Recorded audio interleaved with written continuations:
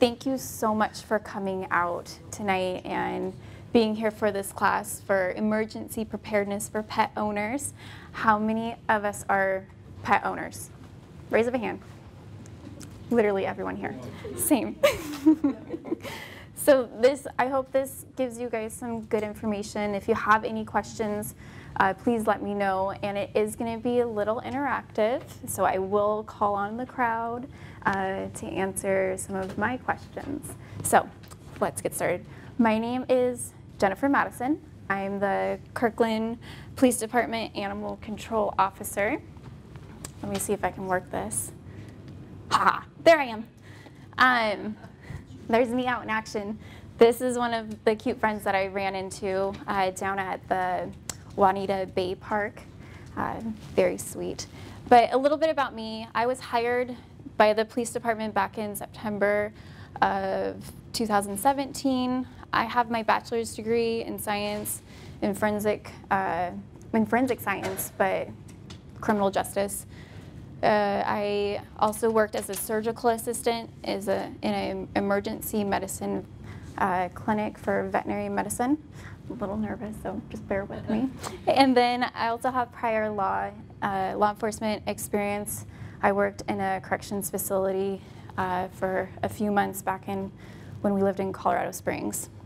I'm also a multiple pet owner.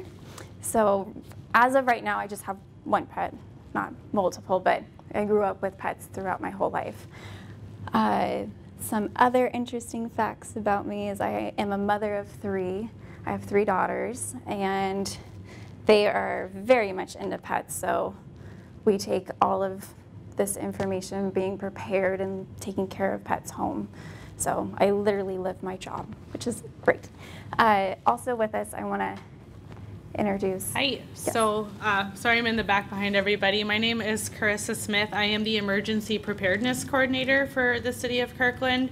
Um, so, yep, thank you guys for coming out. I've been with the city for just over a year now, doing kind of the preparedness classes, sometimes teaching, sometimes just hosting and letting other experts come in and talk. So Jennifer has a lot of really good information for pet preparedness today, but I just want to remind you that you, you know your community and your animals are going to rely on you in an emergency. So as you think about pet preparedness, please don't skimp on the human preparedness. It's really important that you guys have supplies, you guys have a plan so that you can be there for the other people and animals who need you too. Awesome. So I am actually going to do that really fun thing where we go around and we introduce ourselves. And I would like to hear the name of maybe some of your pets. Uh, so I'll have you start.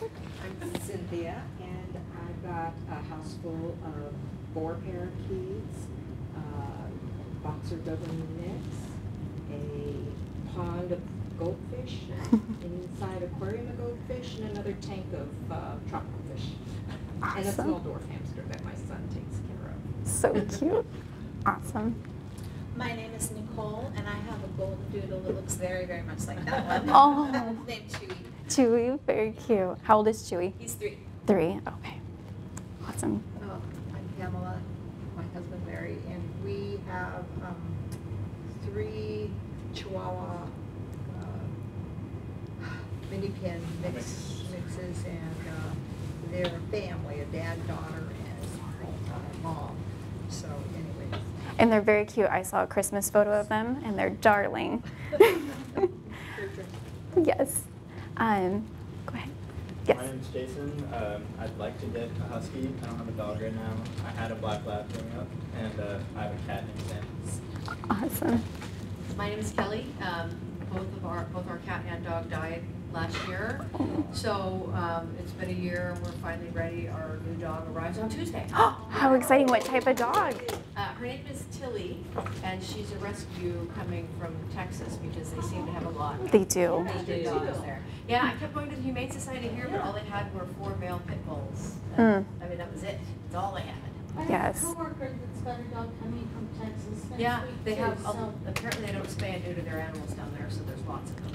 So yeah, she is a uh, lab, uh, either a fox terrier or a rat terrier mix. Oh. So she's about 40 pounds, but tall. Very cute. Yes, that'll. Well, you have to send me a picture. I want to see what she looks like. All right, I've got a video on my phone. Awesome.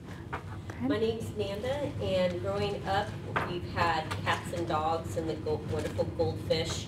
Um, but also, my grandparents had horses and cows and pigs and Oh. chickens, and my aunt has actual wolves as dogs.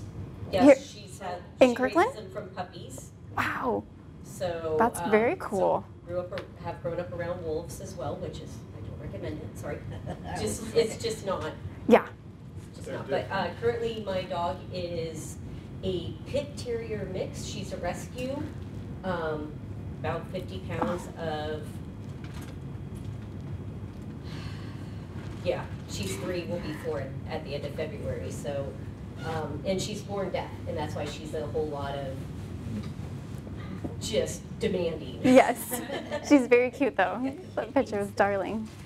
I'm Sonia and I have a cat named Callie. She's a calico. Aw. And I rescued her, um, or I got her from Rebecca's Rainbow, Rainbow Re- Rescue. A Nice. little over five years ago. Great organization. Although she's polydactyl, so she's got cute little. Oh, she's got the cute paws. Oh. And then our two newcomers. Um, we are rescue people, so we've got two dogs. I have Radigan, who is a Chihuahua mix. He is now king of the mountain. We had to rescue another dog because he needed a dog. He needed a dog. Oh. So I've got Yisma, who is a little under one and a half. We rescued her from the Yakima Indian Reservation, and Okay. she had been loose on the streets and already had a litter of puppies before she was one. Oh wow. So she's here and fixed, and they are bestest buds ever. And she's kind of a Chihuahua Beagle mix and a whole bunch of other stuff. It sounds very interesting. Yes. Kenna and Stacy were Kirkland CERT members. oh, awesome. Well, Juanita. for Juanita. Okay. Mhm. Thank you guys for coming out and sharing about your pets. Um, something that I think we can all agree on is that our pets are family. We view them as family, so we need to make sure that they are prepared for anything that occurs. Um, so we're going to get started on this. Okay, so some of the threats and hazards that we could come into. Um, so earthquakes, we have tsunamis, uh, landslides. Back in 2014, we had the mudslide. Um, it did take, or it killed 44 people, but which is extremely sad. Um, but it also displaced a lot of pets and animals. Um, that included a, they said a herd of 37 horses. So those animals needed to be rehomed um, to a, a proper place. And a lot of the families uh, around the area, they weren't able to, to take their pets with them, you know. Um, so it's just being prepared and making sure that we have packs ready to go and we'll go through the kits of what you should what I would recommend that you have ready. Just in you can have it in your car you could have it in your house right by the front door but they're just easy packs that you take with you and you take them on the go. Okay. How do I make the little links work? Okay. Okay this is a this is a video and um, it's pretty short but I wanted you guys to see it. Ooh.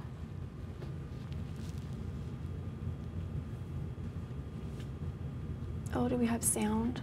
Maybe we get an. Full screens get bad. Doesn't them in. Okay.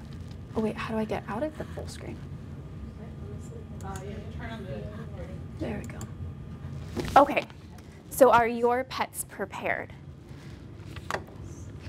Who, out of raise of hands, who already has a kit for their pet? That's awesome. Okay, that's a good amount of hands. Do you guys have a plan So if something was to happen, say we get an earthquake, do you guys have a plan for just your family? For what, what you guys might do, where to go, that type of thing? And have you guys thought about your pets Yep, in that process? yep. Yeah. Yeah, that's awesome. Okay. So let's start with the very basics. If you guys open those folders that are in front of you, on one of the sides, there is a little sticker. It's going to look like this one. It might be a little different. Um, but this is a good one to have just in case um, for any reason, any emergency reason, saying that yes, there are pets inside of my house. This is the number of pets that I have. Um, please look for them in an emergency contact number, which could be, I mean, it could be yours. It could be to your, your veterinary clinic that you use, that you trust, or a family member. It's an emergency contact. Um, I have one of these for my house, just in case, just for my one dog, but it's good to have. So you guys should all have one. If you didn't get one, let me know, and then I can I can hand out more after. Okay? To put like the emergency contact number and phone number on it? Yep. So, so some of them might be different. So you can put a phone number on there um, of your number. You could put a friend's number. We're going to talk about a designated caregiver here in a little bit. Um, anybody that you want as your emergency contact for your pet. So if emergency responders are coming to your house, they know who to call. Okay? So where would you, where would you put this? I would put it in my front window. Um, so I have a front door, and right next to my front door, I have a little front window. Um, you can. It's on the second floor. It's on the second floor. You can even put it to your door. I mean, this one, you can get a different one that sticks directly to your door. They have different styles, Okay. but these stickers are nice to have. Okay, thank So if um, a disaster was to happen, we always recommend that you don't leave your pet behind. And here are some ways to ensure that they don't get left behind. Contact uh, your veterinarian for a list of preferred boarding kennels and facilities. Identify hotels or motels outside of the Kirkland area in case Kirkland gets hit hard. You have outside areas that where you can take your pets and they're accepted there um, if you're staying in a hotel or a motel. Um, ask your local animal shelter if they provide emergency shelter or fostering for pets. Um, if you are going to be staying with a family member who says, sorry, I, I can't have Fluffy in the house with me right now, um, but maybe some fostering options. Um, and then ask a friend or a relative who is living outside of that area to help care for your pet. Uh, for me, I have family, you know, far and wide in between. They're all animal lovers, so they would take in my dog if need be.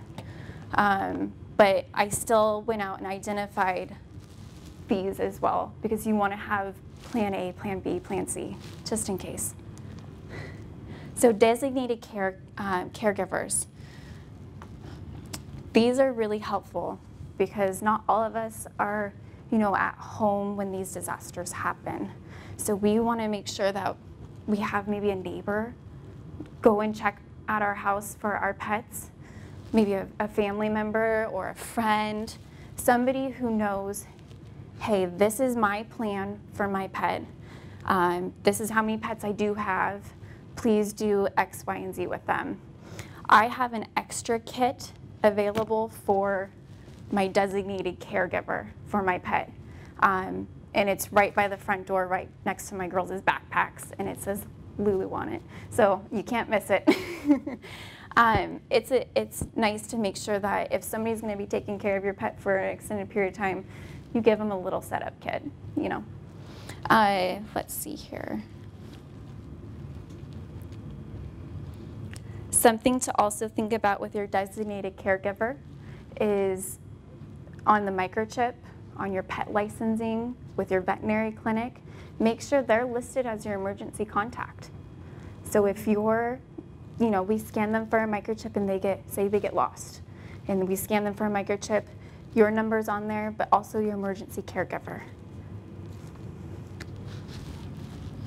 How many of your pets are microchipped? Just raise your hand. That's amazing. That's awesome. Um, I have two microchip readers at the PD. Um, all of the vet clinics that I I'm aware of, sorry, all have uh, microchip readers as well. So if an animal does get lost, taking them to the PD or taking them to the vet clinic, shelter, we'll be able to scan for those. Let's talk about making our kits. Okay, so inside your folder as well, there's these little pamphlets. Uh, it has the exact same thing like this. So I would recommend that you keep these folders to go inside your kit when you have your checklist, but also these uh, folders would be nice for any veterinary documents that you have. You can put them all in there, any, any medical stuff, um, anything like that. So copy, we're gonna read through them, I'm sorry, but we're gonna go through, we have our copies of our rabies and other vaccinations. With that, if your cat does not get a rabies vaccine due to allergies, um, or your dog doesn't, or any certain vaccination, I would make sure that's noted in that, in those medical records, just in case if your designated caregiver doesn't know. Um, a two-week supply of pet food or, and water, an appropriate size crate or kennel. This is a good one to make sure that you identify on your crate and uh, kennel who that crate, or crate and kennel belongs to. So your name, your phone number, your address, your emergency contact, and that animal. It's a lot, but it's, it's good to have. Um, these ones are fun, no spill food or water bowls. Does anybody have those collapsible ones, those collapsible food But and I water also bowls? have the no spill for water. Okay, Yeah. where, It's, does it suction down? nope. Oh, tell me about it. Actually, so it's a bowl that's kind of odd shape. It's higher at one end than the other end, so they can go in. But I can actually put it on the dog on the back seat or in the front seat. She rides up front next to me, oh, harnessed in and all Oh, that. So I'll just put the water on the in between the two seats. And you Okay. can put it there, and it does not spill. I had it set up that way all the way over to Glacier and back. Wow, And No she spills. constantly had water, no spills. that's awesome. She actually awesome. slept with her ears in it a lot of times when it got too hot. That's It cute. cools- Yes, it cools them down. See, mine, So- mine has a baffle in it, so that the water doesn't slop, and then there's a little, like a ridge over the top. Okay, It's got Velcro on the bottom, so you can put it on the floor of the car, and it just stays. and it just stays there. Wow. She can kinda Nice. water when she And yeah, I actually found, found mine at what's the, it used to be no, you know, do, Dooley's. Mhm. I, whatever the new name, I can't, I can't think of the new name all of a sudden, but I, I found it over at that store on, Okay. off the market, so, Nice. So it sounds like there's a few different options. yeah. Um, that's really good. Medications. Talk to your veterinarian about getting an extra supply, maybe a, maybe a week worth of extra medication if your pet is on that, uh, any type of medicine. Poo poo bags. You guys all got a little poo poo bag dispenser. Underneath your poo poo bag dispenser is a flashlight, just in case. Something I wanted to add, sorry to go back to the medications, Oh, yep. is if you can't for some reason get a longer supply, also applicable for humans, or even Mm-hmm. if you can, uh, make sure that you have prescriptions written down and copied. So if you do run out, it's a lot easier to fill them than if you just go up, you know, to a mobile prescription unit that comes in after a disaster and you say, well, you know, someone is taking this prescription for this. If you have the actual copy, it's a lot easier to get that going right away. Where you're gonna have trouble getting extra is if it's a pain med or a controlled med, then you Mhm. have trouble getting extra to Yeah. hand. But that's that's a very good you can do is idea. Get a vacation fill. It'll still be a hassle, but they'll do it, and then you can have, then you've got a month's backup and you just stay a month ahead. Okay, nice. Uh, disinfectants is another one. Pets make messes when they're nervous, and this is going to be a stressful time uh, for everybody involved, especially our furry friends or guild or scaly. Um, so having disinfectant wipes, paper towels. Uh, I have a little thing of like baby wipes, um, and then I also have little. They're called paw wipes for her feet, just so my she doesn't have dirt on her toes. Weird, um, but I have those toys and blankets and treats. They may not want to eat the food that you have right away, but having those savory treats available, at least they're getting something in their tummy. Um, and then they're having some comfort items as well. Uh, does anybody's pet in here have like a major comfort item that they have to have with them at all times? We've noticed that another good thing is if you sleep with the item, it's got your scent on it. Yes. We vacation a lot, which we're very fortunate to do that, but, you know, you wash everything for the dog sitter, but it's like, no, that one blankie. That one blankie, yes. It's gotta be with us And and, that's what I was going to recommend is if you have clothing that you, you know, you no longer want or they're going to the Goodwill, maybe wear it one more time and then stuff it into that kit so it smells like it smells like you. Um, this is a really good one, and this will pop back up later. But is a recent photo of your pet that identifies the type of dog that you have or animal that you have, the sex of your animal, if it's altered, unaltered, uh, the age, um, and then color. So it's a good little ID for your pet to, for you to have on you and to carry. Um, microchip information, which we talked about, and then make sure you go on and you register. Sometimes the microchip company won't alert you to actually follow up the registration after it's been implanted in by the veterinarian or the shelter. So just follow up with that. Mhm. When I took the um, Humane Society of America sheltering course, they suggested you have a picture of your pet with you. We were going to go over that, yes. That, okay, sorry. No, no, no, that's great, absolutely. That proves that it's yours, because apparently they've had trouble at emergency shelters Yeah. with people trying to steal dogs. Yes. Which is about the crappiest thing I've ever That's a heard. great idea. And it's just identifying that, that proof of ownership. Especially if you have a purebred. Yes. It's hard to tell them apart. Like my Mhm. dogs, there's no doubt. Yes. Uh, some calming medicine, or what they call the, uh, the thunder shirt. It's like a it's like a hugging shirt. It calms them down. I don't have anything like that for Miss Lulu in her kit um, because I know that these things, these familiar items, will work really well for her. Uh, she has a particular shirt of mine that was my favorite that is now hers. We don't talk about it. Um, some grooming supplies that also goes with those paw wipes, but maybe having some, you know, a small little travel size bottle of doggy shampoo or anything that your animal needs for grooming. Uh, nail clippers are a good one to have just in case. Um, manual can opener, just we won't maybe won't have electricity, so that electric one does us no good. So make sure we have a manual one. Flea, tick, and heartworm prevention products. Uh, even if, say if you just put it on your pet, we don't know how long it is before a veterinarian is going to be able to supply you with um, more. So just having an extra little dose of that to, to hold you guys over. And then we're gonna go over some first aid stuff, but having a first aid book and kit is also nice to have in there for minor injuries that you could easily, you know, treat until you can get to a veterinarian. Um, and then leashes, harnesses, and collar ID. You guys all got slip leads.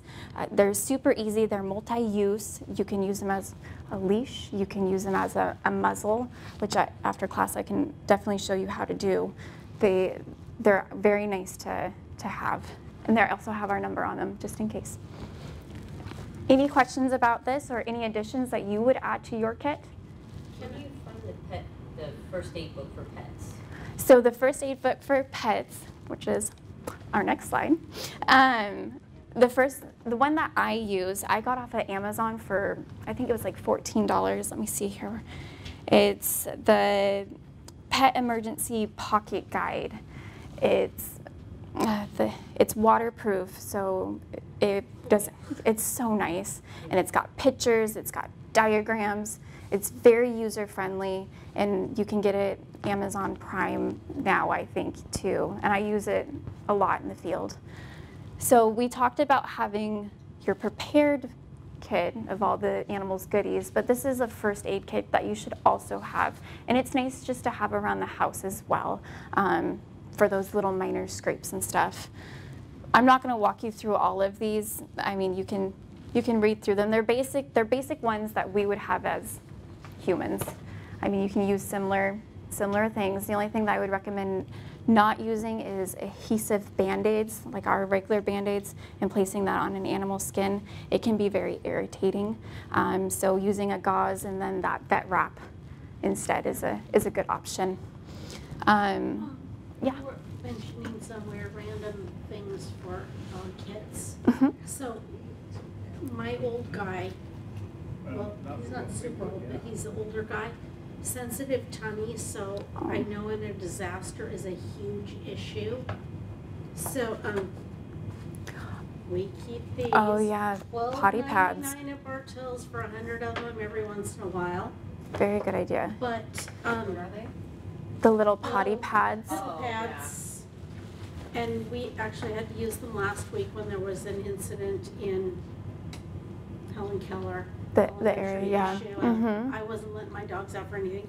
Um, Whole Foods, What is that? bone broth. Oh, okay. Yeah, yeah. So Nice. bone broth, It's not good for dogs, but pet. no, bone this broth is, good. is good for dogs. But, um, we also keep those little silly microwavable cups of rice, so Radigan, the, the bone broth, the rice, and some organic pumpkin. The pumpkin's amazing pumpkin. for ouchy tummies or bubbly tummies. And, and we're, we're just thinking of him, and baby food, my vet, baby, Mhm. baby meat, we call it lickable meat at our house. and, ah, And then I've got my stupid little spoon for scooping things. That's all great stuff to And have. And Mud Bay also has freeze-dried cups of food. Uh-huh. So you just throw some water in, you can make it warm, but in an emergency, if there's no heat, it, you know, you throw some water in, they love it. That's It's- wonderful. That's a great idea. And they're like a dollar ninety-nine. Mud- So if you've got a Mud big Bay, you said? get- Yeah. Get four of them if you've got a huge dog. I, my dogs could eat off of one for two days. Wow, that's awesome. Very, very good idea. Any other suggestions that you'd want to put in your kit? Or any other? Yeah, we keep pumpkin, we used to keep pumpkin in our kit for our dog. She had a, after she had a bout of pancreatitis, we found Mm. that that was the, the, um, the pro, the, the fiber and it was really good for her and high fat. And then we fed her, um, Honest Kitchen, which is the dehydrated food. It's, uh, human grade food that's just dehydrated, so it's really easy to go, all you need is water. Nice. Those are really good ideas. Pumpkin, I like the pumpkin idea because bubbly tummies, that's a great, great thing for bubbly tummies. That's what we call it in my It's house. Easy to find the poop because it's orange. that too. Um, something to add to, we never expect our pets to be bitey or to harm us. But in a scary situation, stressful situation, or if they're in pain, having a soft muzzle is really nice. Um, if you don't have a soft muzzle, you, like I said, I can teach you guys how to do the muzzle with the slip lead. It's very easy, um, just requires a quicker hand. Um, but having these muzzles is a nice thing as well. Let's see if there anything on there. So yeah, just your just your normal first aid kit. Just make sure you have just a tiny one in there for your pet, just to take along.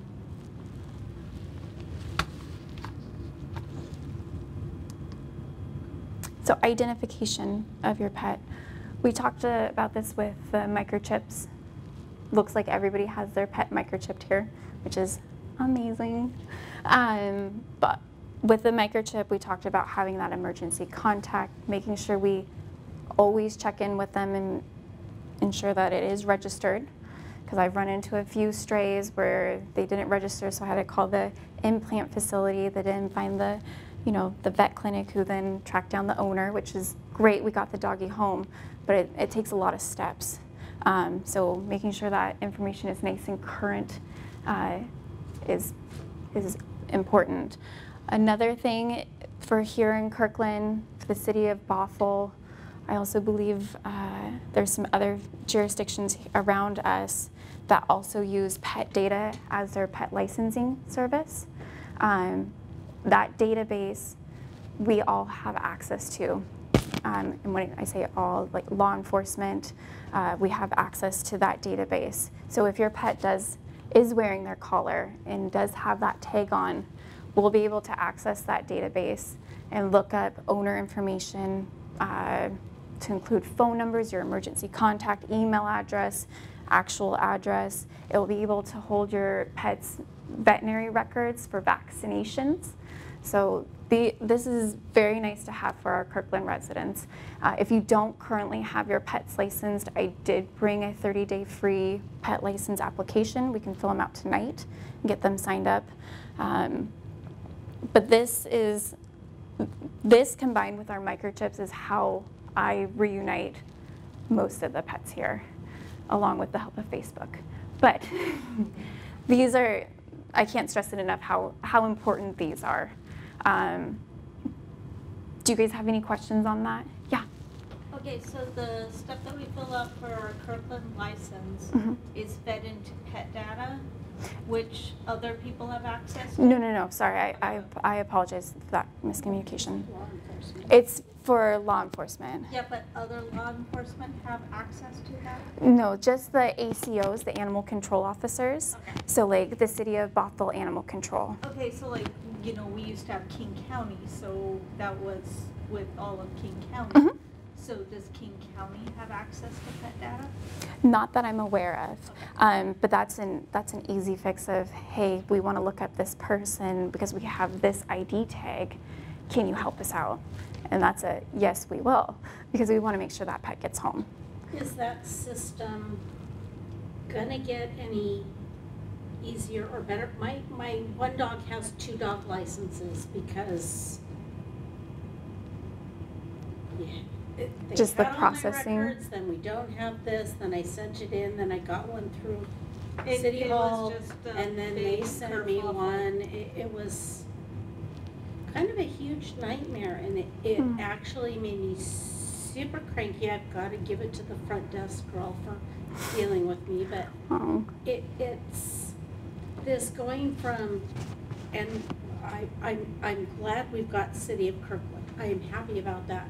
I was not happy with the, you've got all this info, and I also understand, but it, it seemed to me that King County has all that information that should have been good to go for the City of Kirkland.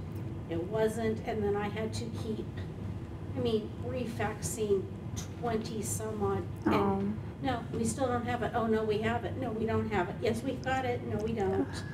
And is that getting any better than a year ago? Because, I believe so. I believe it is getting better. That first transition when we go over to a new data system, and I- there's going to be hiccups. Um, I'm sorry you experienced something And like I- that. how do I I had the same. You had something yeah. similar? figure I'm what sorry. Dog Okay. license I need to renew shortly. Because he's got two. And I'm like, I- I'm, I'm Con- just ignoring it till. Contact me. Let's talk after this, Awesome. and then we will we'll get that fixed. We'll figure out. We'll get it which one fixed. to wear. yes. He's jingly. I, I'm. He's all jingly. Okay. Yes, sir. So, if, if I'm hearing you correctly, um, my dog gets lost in Arlington. They can read the chip, but they have no way to tracing it back? No, what you're no, no, no. So the microchip will contain your information as long as you register that information with your microchip that you put in your dog. So microchip, uh, there's a bunch of different companies for your microchip. There's 24 Hour Pets, uh, Pet. There's PetLink, I think, is another That one. didn't answer my question. Oh, go ahead. Sorry, sorry, I He misunderstood. gets, he gets lost in Arlington. Arlington. Okay. Pick Arlington, pick Ellensburg. Anywhere. Yes. They read the chip. Okay. Do they have the ability to find me, even though it's registered with my local vet, and we did all of that correctly? Yeah, so the chip that, okay, so the chip number, there's a series of numbers on that microchip that they would scan for. That series of numbers tell us who to call, that, that microchip company. The company would have your information, who would then relay it to who found the pet. Does that make sense? So, I understand what you're saying, and you're saying there's a series of numbers. Every time I've seen them scanned, they usually come up with about four digits. the ones that I have, the, they're, Hmm? They're longer than They're Yeah, they're they're Okay. they tend to be longer. The first, I think it's the first four digits tells you, or is supposed to indicate which company to contact. Okay. And if no matter what company you contact, you give them that number, they're going to tell you you need to contact this company, Okay. and they should have, they will have your information There is- as long as it's there is registered. ability to trace back. Oh, absolutely. Yes. Sorry for the miscommunication. Would they trace back with a license also? Yes. Okay. So um, the microchip will be housed under pet data, but your pet license information won't be housed under your microchip company unless you give them that information. Because those two do not talk. Um, But it changes every year. Yeah. No, it doesn't, the number shouldn't change. no, it doesn't. change. No. Once you get one, Why do it's good, you just have to repay. We don't. Yeah. Then Okay. Um, but when you fill out your pet license information, just make sure you put all of the information down to include, you know, your microchip number, um, emergency contact, your information, all of the all of the stuff that is needed. Um, so we have it in our database, so we can contact you. I have a quick question. Absolutely. Okay, um, we, uh, don't put the tags on our dogs, Okay. and, but, uh, we take them out, right? And Mhm. they're leashed, contained and whatnot. Um, well, you know what I'm Yes. saying. And, um, They what, what I'm trying, what I'm wondering is, I have their, uh, their tags, Mhm. picture of their tag, and their license in my phone. Is that good enough? No. So it says in our code that they should be wearing their tag, but if you came to me and you showed me all of these things, Yeah, you, that's proof. okay. I'm not gonna, mm, you know, that's not what I'm gonna be doing. That's proof for me. Okay. So it should be good, Okay. okay? But it's just making sure you have that, that information as well, um, just so we can help get the dogs back or the cats. It's just cats and dogs that need to be licensed as of this time. Uh, we don't require lizards to be licensed or tarantulas, nothing like that. So should I take the, should I take the tags with me?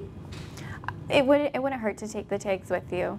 But if you have pictures of your tags and you, I can, I can even look you up on my phone. Like I have access on my phone right out in the field. I can look it up there. Okay, got it. Okay. Any more questions on this? No? Okay. So this is what you had mentioned. This is my dog Lulu. She's a little wild thing. Um, she's a, yes, we call her the coyote dog. um, Fluffy belongs to who? And this is what we had talked about before. Um, making sure you have a current picture of your pet. We can all tell Lulu is a gorgeous dog. She's tan, she's got white hair. Um, but who does she belong to? Because there's no tags. I don't see any tags. Uh, so I make sure that I have this as well with my smiling face. Um, we're both smiling in this picture. This is actually the day that I, I picked her up as a, as a stray, as a rescue. So, Good job. yes. Hmm. So it's good to have these things, um, or having also having one with your designated uh, pet caregiver. So have a picture with your pet giver. If it's going to be your family member, your fr- best friend, the neighbor next door, just so they can go and pick up that pet if you do not have the availability to do so. Mm-hmm. I wish we all had pictures of our pets right now. We would be doing show and tell. If we don't. I mean, we can definitely do that. any questions about this or any suggestions that you have? No? Okay. Look how cute she is.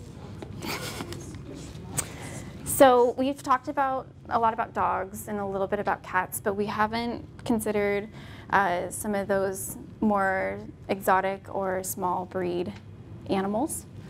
So let's talk about some special considerations for birds. Birds should be transported in a secure travel carrier. Even if your bird loves to travel and is comfortable carried on your shoulder and you walk around the house or the yard like that and they don't fly away, doesn't mean that they won't do that in a stressful situation. When you're transporting your animal, make sure they're in a secure carrier. Um, in cold weather, uh, make sure that there is blankets available to them. Uh, it also helps reduce uh, the stress of traveling and warm. Make sure you have a spray bottle. Kind of like with our doggy leaning his ear into the water bowl, they want to stay cool. So these are nice, easy ways. So maybe adding a spray bottle to your, your travel kit is a, is a good idea. Um, have a recent picture with your pet. and then uh, make sure if any of your pets have that leg band, you have the number written down somewhere, but also it's in the picture so that they see that. Um, carrier doesn't have a perch, line it with paper towels that can be changed frequently because you never know when you're going to get back to that area where you're going to be able to clean it. So having easy disposable uh, bedding is a good idea. Keep the carrier in a quiet area as possible, which may be difficult, but find that safe, quiet place to just let them kind of de-stress. Um, we have so make sure we have the right feeders. If you need to leave your bird unexpectedly, the feeder will ensure that we have daily feeding. So just make sure that there's extra food in there for them to chow down on. And then to keep items to keep on hand, a catch net, heavy towel, blanket or sheet to cover the cage, and cage liner. Uh, these are all really good ideas to have regardless of what type of pet you have is having that extra bedding or blankets. Um, any questions on that or any recommendations from my bird owners? Because I do not own a bird. No? Okay. Oh. Yes, we do have reptile owners and amphibian owners. Um, and these animals, they need the most delicate type of care because they are so exotic and they do require a lot of care. Um, transportation here really should be maybe in a pillowcase. It's easier, it, it sounds a little crazy, but pillowcase works beautifully. I've done it out in the field when I've come out into contact with snakes. Yeah. And I didn't squeal, I did very well. but, um, but for a permanent and secure housing um, place, you should probably use more of, like a Tupperware, like a big tub type thing with a lid on it, but make sure they have access to breathe and all of that. Uh, a sturdy bowl large enough for your pet to soak in. Lizards and snakes need the ability to soak and bathe and do all the things that they need to do.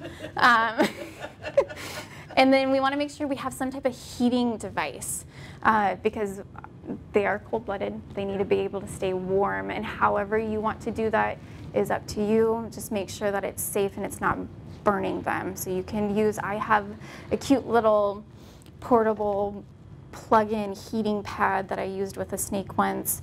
Um, it's battery operated, so the little cord hangs out here, so it's not next to the snake, um, but it's easy. I can use it on the road. You can use hot water bottles, anything like that. Um, Almost filled with one of those heat packs, you know, that you smash up to keep your hands warm for. It could work, but I would just, I would be cautious so that they're not ingesting any of it. If anything breaks, anything like that, make sure there's a good barrier and you're, and you're watching closely. Um, but it is a, Because they get very hot initially. Yeah. Mhm. So very good idea. And then lizards, um, which I have to admit, I owned a bearded dragon at one time. It was very cool, but I don't like crickets, so it didn't last long. That's their main food. Can be transported just like birds can, just in a secured cage. Any questions on our reptiles? Anything? Sorry. My daughter's, the, uh, uh, the, the power went out and my grandson had a, yeah, and she slept with it to keep it warm. Wow. Okay. Really? You got to do what you got to do, and you got to keep them warm.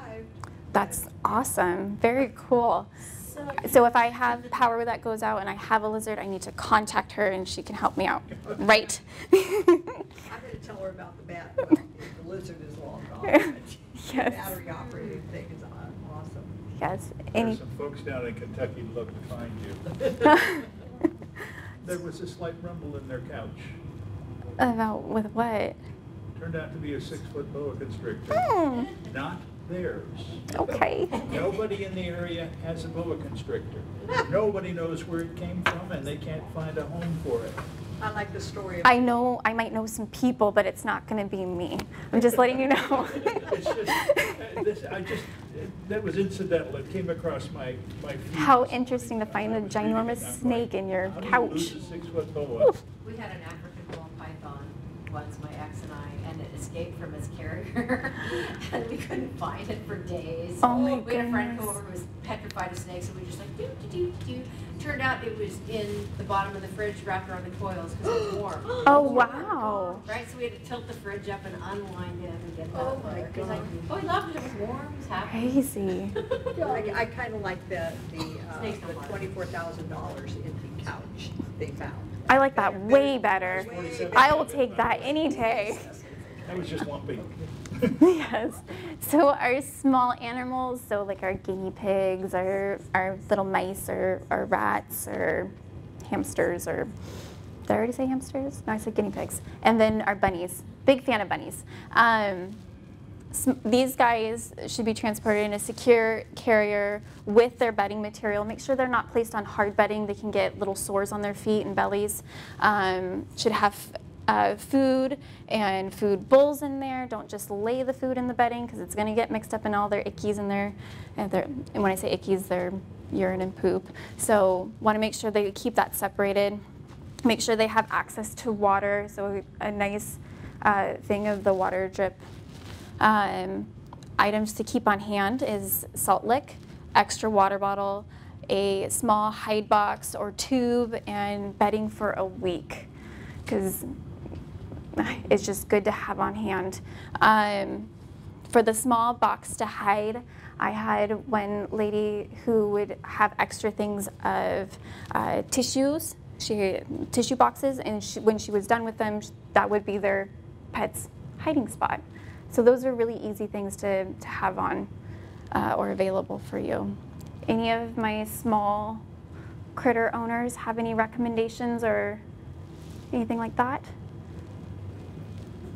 No? Okay. So this one's kind of fun. This is, this is a side note.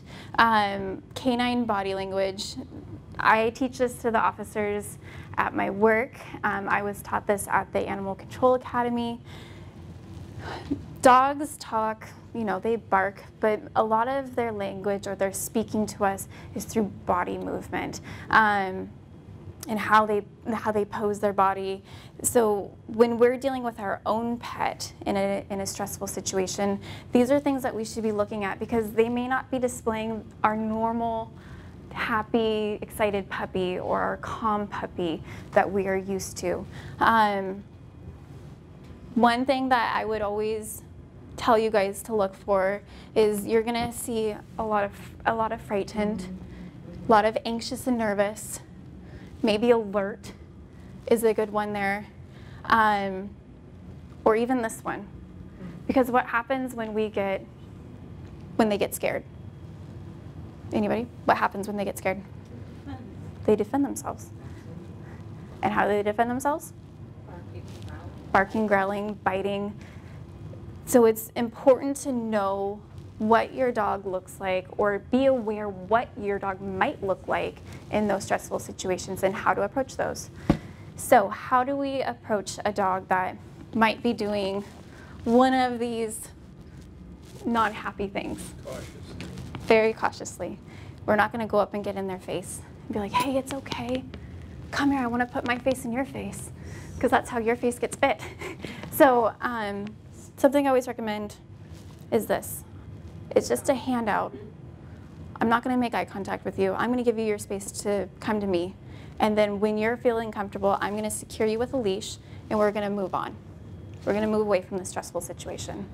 So these are just some things to look for. I see them a lot out in the field. Not ever, it's surprising not every dog wants to be my friend. I don't understand why. So I have to take my time. Um, when I first got Lulu, I got a lot of this.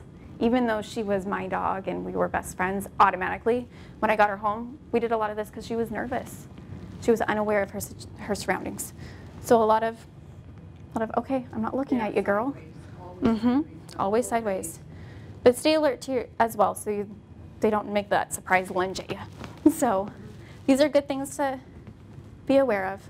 This is my favorite. Submissive, pet my tummy. Um, next one. So we're gonna do a little test. We are gonna identify what body language we're seeing. Relax. Relax. Yes. Aggressive. Aggressive. Aggressive. So this one here, is it you're saying aggressive? I think you might be playing. That could, that one's submissive. Mm-hmm, because we have a belly turned towards him, don't we? Yeah, I think, I think they're playing. hmm I would say so too. I think that camera guy just got him at the right time. Oh, yeah. this is one of my favorite. Yeah. That's just a say what. yes. This face, That I- I, I didn't do it. So this this dog, I would definitely approach. This is me without coffee, but I would approach this dog with that side. Mm-hmm. Yeah, Yeah. carefully. I would even approach this dog with the side because he's He's now been scared. yeah he's scared. This this little guy down here, Scared. he's scared. Same side approach. These two, I think it's easy. Yes, very playful. Twirl ball and rope by belly, same time. Those are ones that are calm, they're relaxed. You could probably get down and do the high pitched, oh my gosh, you're so cute. And they would come right to you. But whenever I greet a new dog, it's always the side. Any questions on this? No? Okay, cats. Cats are cats. Cats do what they want. Um, so these are the, this is the faces of cats. I don't agree with this chart because this cat I still feel might come at me. Yeah. But but it's just knowing that your cat in a very stressful situation like a natural disaster, they they're not going to show their normal playful self if that's what your cat does. Um, they're going to be fearful. They're going to show some body language that's a little different.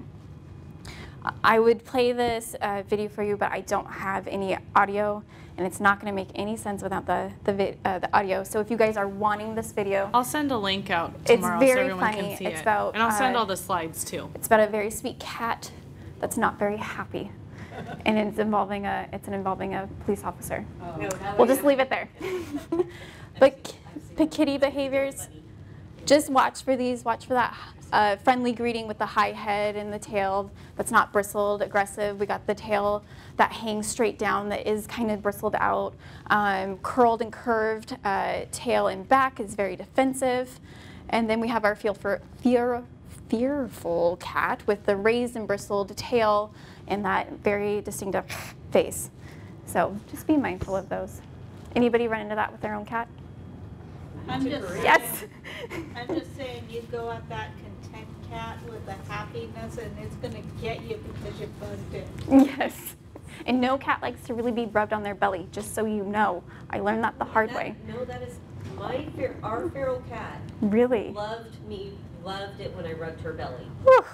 Loved it. Teach me your ways. I, well, but she, but I, my parents got her right before, right before I was born, so she'd oh. been around me her whole life, so. Oh, wow. Yeah. I, well, I've never been able to pet a cat's tummy without getting a swat. So I, am still trying. Wildlife in a, in a disaster situation, please leave them be. I know we want to save them, especially if they look like they're in distress. They're gonna know Leave them better be. Than we do. maybe jot it down that you saw maybe an injured one or something like that, and we can contact Fish and Wildlife. Um, but for your safety and your safety of your pets and your family and all of that, I would leave them be. Any questions on that? Well, on the same lines, say we're out walking the CKC, because I have seen a couple of the coyotes lately, Mhm. especially down by, because I live over at the South Kirkland Park and right in the apartments right there, so I walk that fifty-second, hundred and eighth section a lot, Yeah. and even over on the Bellevue side. And I've been seeing, I've probably seen two or three of the coyotes out and about now. Okay. So will we just contact you to contact them? So there's an online reporting that you can do through the city website, Yep, and I'm totally our- blanking on what it is. Our town app, our It's town it's app? called Our Kirkland. Our Kirkland, Yeah, Our and you can report almost anything through there, Yep. from Okay. potholes to animal to whatever. So it's And- a really handy tool. And that gets forwarded to me too. Okay. Um, so then we can document, and I have this whole Excel sheet with documentations of where we've seen them, what their activity was, and um, actions that we've taken. Uh, but yeah, documentation is, is huge on that. But with preparedness and your safety and all of this, when it comes to disaster, leave them be for let them do their wild thing. Do you have anything to add? No? Okay. So how do you you all get involved outside of doing this awesome class. Um, one thing that you'll find in your folder, I put it in there, is WASART. It's the Washington State Animal Response Team. They are amazing. They will come out, if say if we have a down horse, um, they will come out and they'll help get that horse out. They've done a lot of amazing work. They have classes that you can sign up for, volunteer stuff. Um, they're just, they're a great resource to have. Um, Kirkland Emergency Communications Team. That's it. So we, we have a few volunteer programs and uh, preparedness programs if you're interested. So the Kirkland Emergency Communications Team is a ham radio group that provides backup communications for the city in case our normal communications methods go down. So if you're interested in that, I have information at the back about all of these. Our Community Emergency Response Team is a training that we do uh, that's a nationwide training. It's a lot of fun, very hands on, and it just teaches you how to respond if something happens. So we go into disaster medical, uh, light search and rescue, disaster psychology, how to take just how to take care of yourself and the people around you if something so big happens that normal first responders can't get to you. Uh, we also have a program called Map Your Neighborhood, and we have a facilitator training coming up for that in March, and that's all about getting to know the people who live right around you and knowing who has some resources that might help in a disaster, who might have pets that you know might need to be taken care of, and any special needs they have, and then other concerns. So um, there's a lot of ways if you want to keep going in this stuff. We do classes, and then there's all these programs as well. Any questions on that, you guys? Okay. So stay safe, prepare, and don't forget your pets. That will be my biggest message. Don't forget your pets. Um, and that includes all of them, even our snakes and lizards and scaly things. Um, questions? I just thought that was really adorable. Any questions? Any questions? Okay. And then if you want to, this is just get in touch information. Is that correct? Yes, yeah, sorry, I didn't, I I don't know why it changed the formatting on it. Um, so the city has an animal services page. If you have more, there's a lot of information about the things Officer Madison talked about with licensing and all that stuff. It's very hard to see up there, but we have a pet preparedness webpage, and I will send the links out to these in an email tomorrow. So make sure you signed in with your email there. Um, if you have more questions about pet preparedness, if you want to link to some of this information, that's on there. And then um, our emails are on there for animal control and emergency management's hard to see, but I have cards in the back. If you have questions about any of this stuff, you can reach out to either of us, uh, and we'll get you in touch with the right people if, if that's what you need. So we're always here to help. And just let me, let me point out really fast that this goes to our non-emergency dispatch center. So if you are needing um, my desk line, uh, I have my card in these folders here for you, and that goes directly to my desk line. But if you have a pet-related emergency or anything like that, you contact that, and I can get dispatched out to help, or an officer to help. Okay? Let's see, and that's it. Before we leave, I have um, some awesome treats that were donated to us by Denny's Pet World for doggies. And so we are going to do a little little test. Okay, one of the things that I mentioned in the identification that was important to have was a picture, some pictures. So can somebody tell me what pictures should be included for your dog? You and your dog. Yes. Great job. Here you go. There you go. Um, let's see.